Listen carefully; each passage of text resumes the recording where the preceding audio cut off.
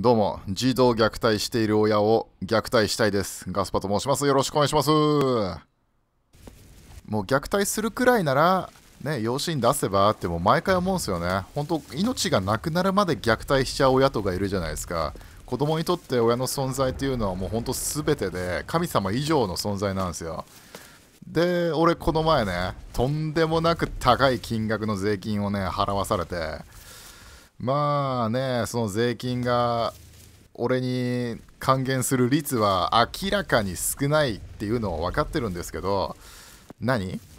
政治的メリットがないからか知らないけど、ね、予算が回らないからか知らないけど、子供は投票権ないし、で、お年寄りはワンサかいてね、投票権あるからか知らないけどもさ、ね、お年寄りの年金確保とか生活保護に大量の税金投入するんだったら、もう少しそっち側にね、お金流してもいいんじゃないかなと思っておりますよ。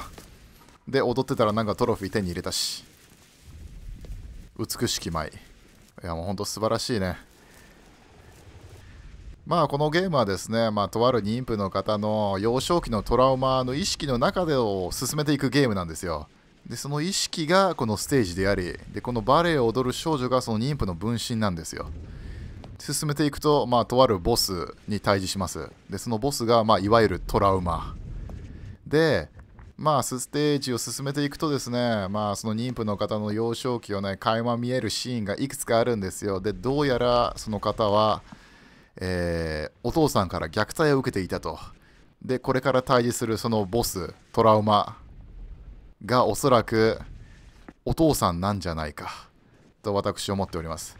そしてこのバウンド、今回、おそらく最終回になるであろうと思ってますよ。果たして、どんなことが待ち受けているんでしょうか？行きましょう。ここね。あら、あのように滑らない。ここを登っていくんですね。じゃあ行きましょう。どんどん行くよ。あれだわ。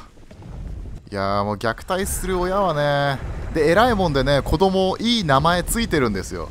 どんな気持ちでね、その名前をつけたのかがね、よくわからない。本当に。サイコパスすぎる。ここか？まあもう死んでしまった子供たちはね、もうどうしようもないんで、もう本当にね、いい親のもとで生まれ変わってほしい。これか。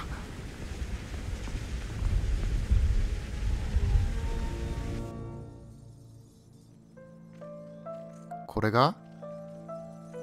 妊婦の方の幼少期。おなんだ？なんだ？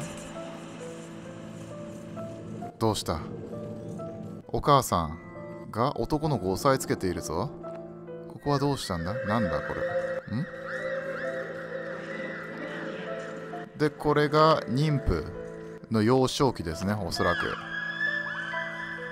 ん？何を追いかけている？これは？お父さんが出ていくのか。お父さんが出て行ってしまう。夫婦喧嘩の末お父さんが出て行っちゃうと。うん。すいません。出たいっす。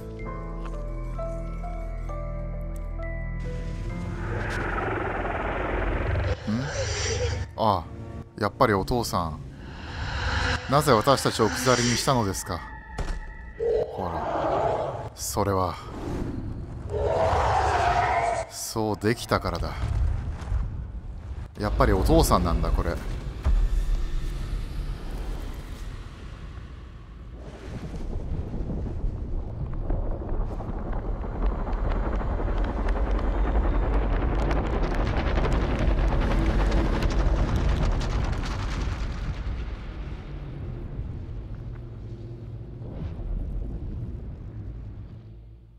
ん？はい前回はねここで終わったんですけどあの家の中にいる人はまさか？お父さん？ここから入れないかな？どこから入れるんだ？おいここを開けろこの野郎。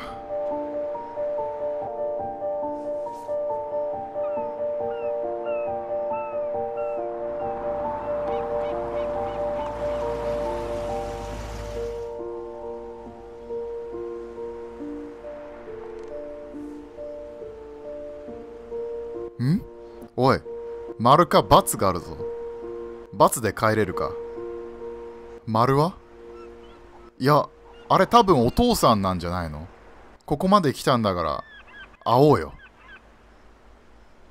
会うべきなんじゃないの？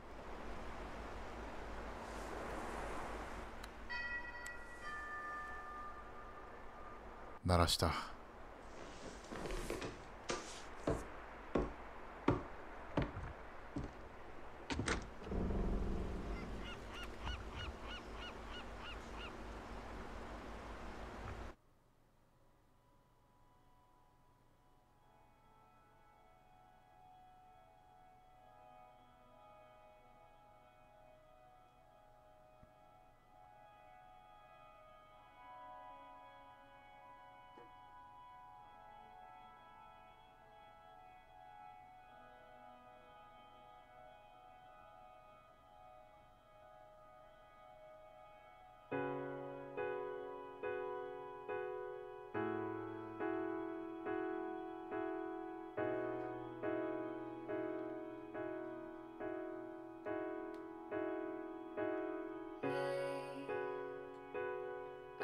sweet.